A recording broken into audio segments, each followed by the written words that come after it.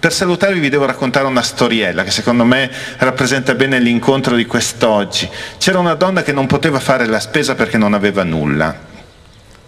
E allora scrive un bigliettino e lo porta direttamente dal, dal commerciante che stava venendo e dice guarda non ho soldi per fare la spesa, però ho bisogno, siamo tanti in famiglia, dammi una mano.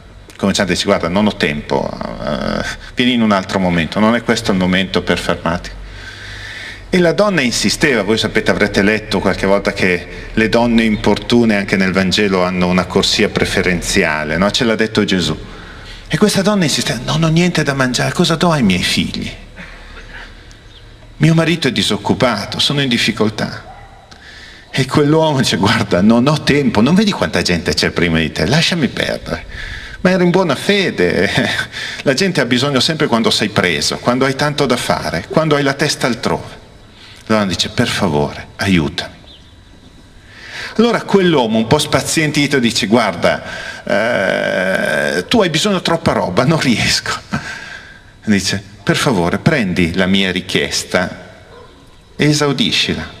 Cosa fa questo commerciante?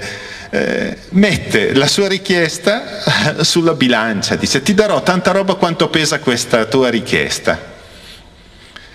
Eh, faccio così anch'io tante volte, eh. troppa gente bussa alle nostre porte ormai, non sa più cosa fare.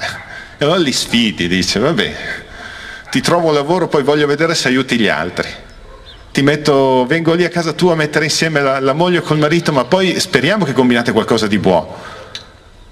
Nel momento in cui lui comincia a mettere questa richiesta di questa donna sulla bilancia, vedi che più caricava l'altra parte della bilancia, più questa pesava. Non riusciva mai a finire. E continuava a caricare.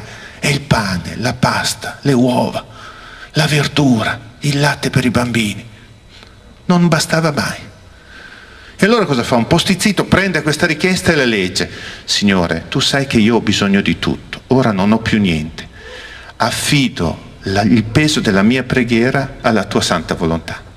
Ecco, io credo che il volontario sa che non ce la può fare da solo sa che per rimediare alle storture anche di una certa giustizia un po' poco distributiva bisogna dare qualcosa di più. Ecco, voi nella vostra realtà comunale, insieme alla parrocchia, insieme a tutta l'associazione potete fare questo salto di qualità, sentire le richieste della gente, accoglierle, fare insieme questo sforzo di pesare, soppesare e distribuire a favore di tutto. Ecco, era il mio piccolo saluto, accettatelo, accoglietelo come chi vi vuol bene, chi vede che quando si fa qualcosa di bello è contagioso. Adesso torno a casa e dico ai miei ragazzi, guardate che a San Nazaro ci hanno bagnato il naso, sono più bravi di noi, così suscitiamo un po' di emulazione positiva.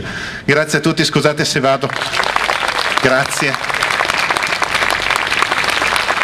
Anche il premio. A Donenzo per ringraziarlo di questa importante testimonianza della sua presenza lo mandiamo, lo facciamo ritornare alla sua casa con i suoi giovani con la storia di San Nazzaro. Grazie davvero.